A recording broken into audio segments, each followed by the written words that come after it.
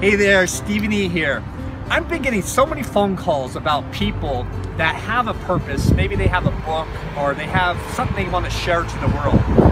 And what I say to everybody is when you have something truly to share to the world, it's easy. It's not something you have to think about, work on. It's just something that you're so happy to share about.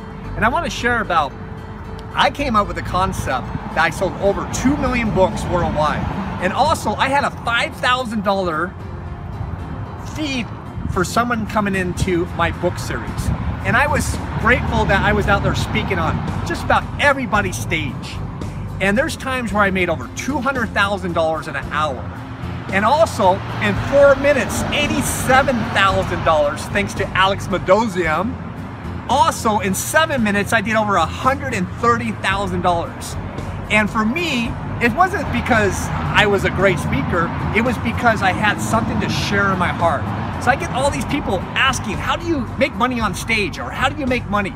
I say, find what truly is inside of you and share it from your heart, share it from your passion, and people will see that and they'll want to be part of it and they give you money.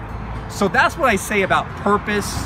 True purpose is just sharing from your heart. So continue to keep on sharing for your heart. Steven E here.